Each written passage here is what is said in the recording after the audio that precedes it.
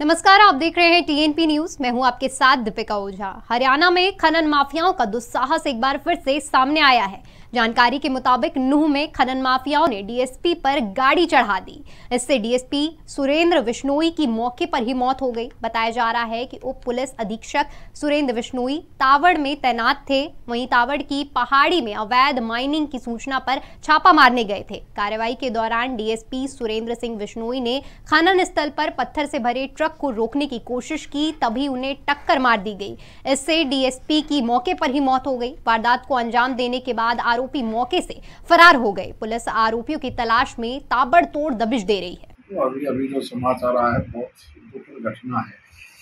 और इस प्रकार का क्राइम जिस भी देश या प्रदेश या इलाके में पनपता है तो उसका रिज़ल्ट बहुत बुरा होता है।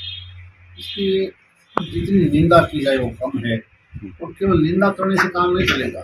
हम तो प्रदेश के मुख्यमंत्री जी से प्रार्थना करेंगे कि सख्त से सख्त कार्रवाई करें, कि ऐसी टीम को लगाएँ कि इस प्रकार का कि हौसला ना बढ़े, उन उस क्राइम का, जो उन क्रिमिनल का, जो इस प्रकार अवैध काम पत्थरों में करें माइनिंग में करें, जमुना में करें, पहाड़ पर करें। वरना तो आज हमारे सामने उदाहरण है उत्तर प्रदेश का।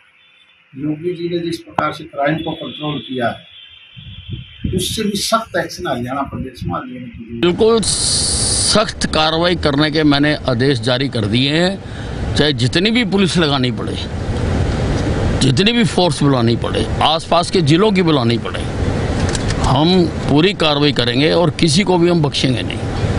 चले फ़िलहाल के इतना ही। देश और दुनिया की तमाम बड़ी खबरों के लिए हमारे यूट्यूब चैनल को सब्सक्राइब करें। खबरों को विस्तार से जानने के लिए हमारी वेबसाइट डब्ल्यू पर विज़िट करें। धन्यवाद।